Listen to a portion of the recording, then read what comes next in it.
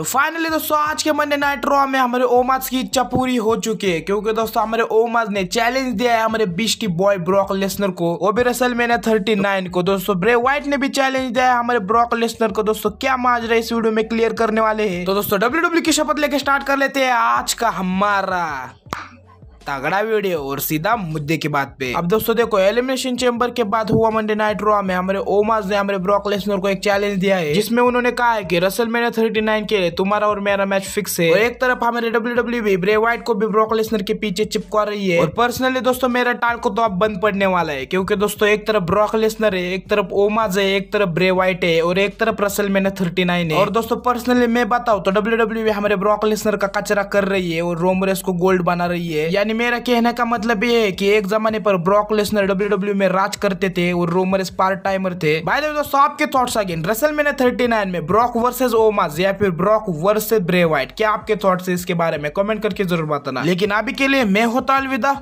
मिलते हैं कल विदा